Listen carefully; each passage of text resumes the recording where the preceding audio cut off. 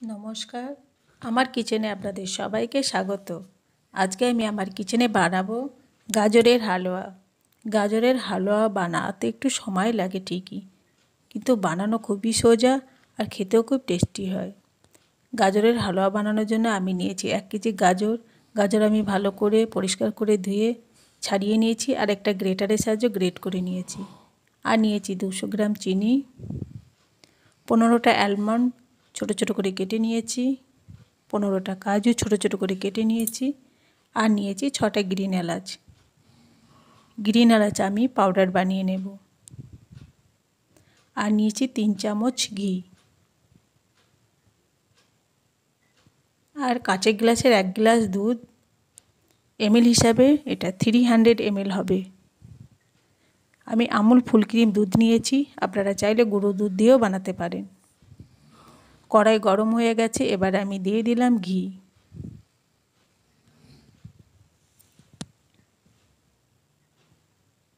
ঘি মেল্ট হয়ে গেছে, এবার আমি দিয়ে দেব গ্রেট করে রাখা গাজর।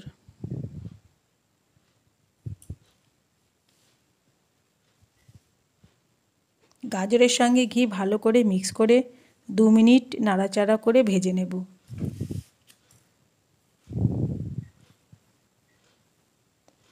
এখন আমি মিডিয়াম ফ্লেমে দশ মিনিটের জন্য ঢাকা দিয়ে রেখে দেব। তবে মাঝে মাঝে ঢাকনা খুলে নাড়াচাড়া করে দেব। দশ মিনিট হয়ে গেল, আমি ঢাকনা খুলে দিলাম। গাজর সিদ্ধ হয়ে গেছে।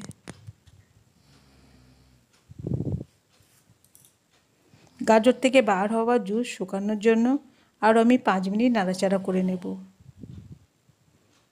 আমি পাঁচ মিনিট নাড়াচাড়া করে নিলাম, এবার আমি দিয়ে দেব দুধ।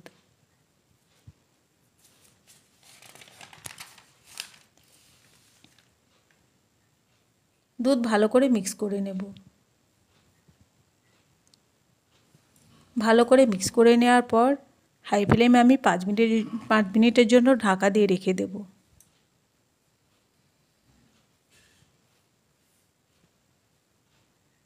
পাঁচ মিনিট হয়ে গেল, আমি ঢাকনা খুলে দিলাম। গাজরের মধ্যে দেয়া দুধ যতক্ষণ না শুকিয়ে কম হয়ে যাবে, ততক্ষণ আমি নাড়াচাড়া করতে থাকব। আমি হাই ফ্লেমে নাড়াচাড়া করতে থাকব। দশ মিনিট হয়ে গেল, আমি হাই ফ্লেমে নাড়াচাড়া করে নিয়েছি। গাজরের মধ্যে দেয়া দুধ শুকিয়ে কম হয়ে গেছে।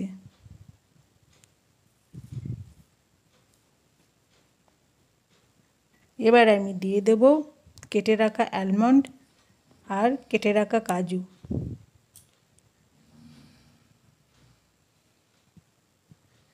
আপনারা চাইলেন অ্যালমন্ড কাজু, চিনি দেওয়ার পরেও দিতে পারেন। আমি কাজু অ্যালমন্ড একটু বেশি নরম করতে চাই, তাই চিনি দেওয়ার আগেই দিয়ে দিলাম।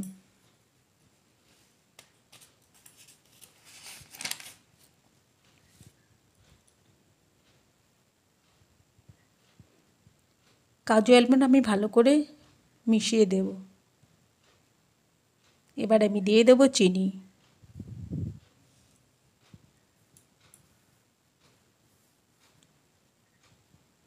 আমি এক কেজি গাজরের জন্য দুশো গ্রাম চিনি নিয়েছি।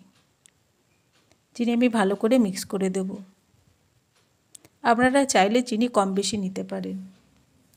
চিনি দেওয়ার পর চিনি থেকে রস ছেড়েছে।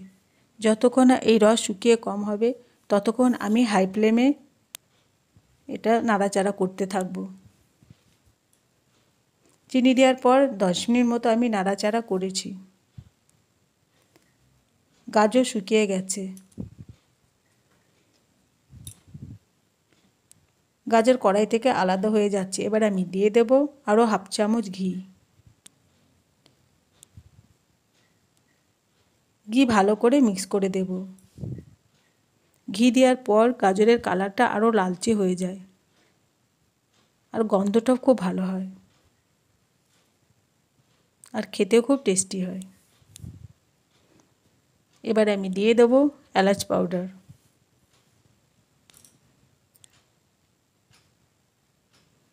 এলাচ পাউডার আমি ভালো করে মিক্স করে দেব।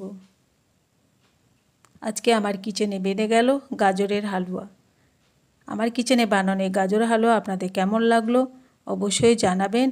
আর যদি ভালো লাগে লাইক শেয়ার এবং সাবস্ক্রাইব করবেন। আর অনেক অনেক ধন্যবাদ এই ভিডিওটা দেখার জন্য।